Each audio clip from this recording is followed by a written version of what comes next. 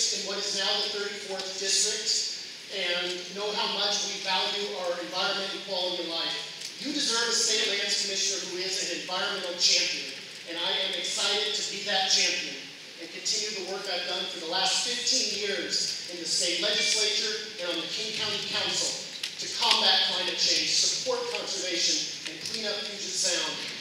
For too long, corporate special interests have had undue influence in our seat. I am running to be the people's environmental champion.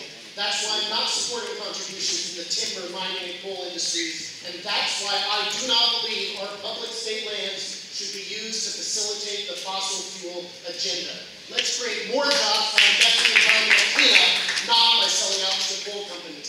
In the State House, I was a leader of the Blue-Green Alliance, a coalition of pro-labor, pro-environment legislators who developed and advanced a common progressive agenda because environmental issues intersect with social justice issues, and we need to elevate the voices of low-income people and communities of color because they have the most at risk from climate change. And we must support the tribal treaty rights of our native people.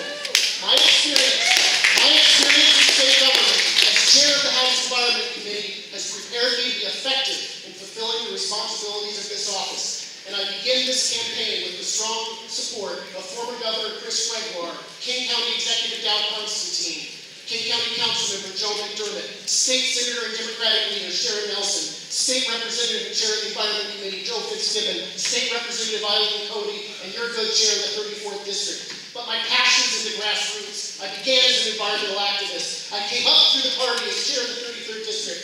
Now, my husband and I are planning to start a family this year. And so my motivation is simple.